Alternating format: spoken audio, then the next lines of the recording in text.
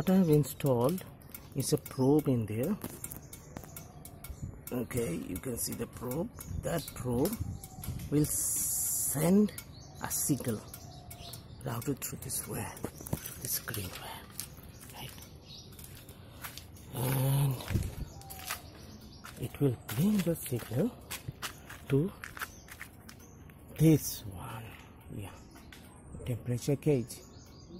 Okay and to supply 12 volt plus minus and it works.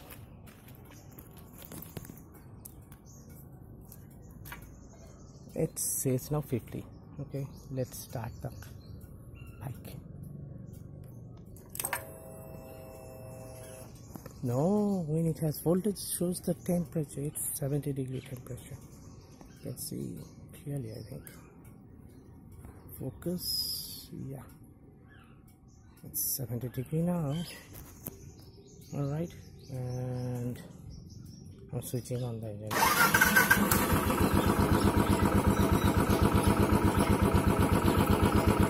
the engine is cold. It shows lower temperature mm-hmm. let me switch it off. Power off. You can see the lowest temperature. You can see. Here will be 50 sorry. 50 and when the sensor probe gets power it shows the current temperature which is like 65 that's the red mark you need to reach. That means your engine the Royal Enfield is hot now fully primed ready to go. And this temperature this range means it's overheating. So that time you need to give your bike some rest. So this is the operating range of 65 to 120 so for my long trips i'll take care that i stay within this healthy zone so that the oil stays better the engine stays better it gives you more mileage and no stress on the engine. Say the temperature has reduced right?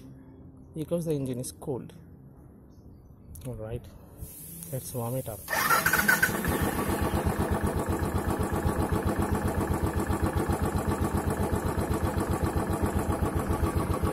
See how it vibrates. You can see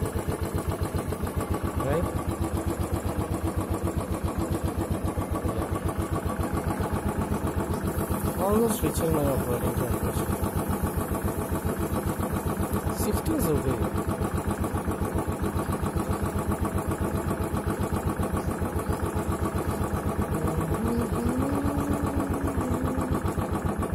Okay i'm going for a small drive. A small ride uh, 10 minutes 15 minutes.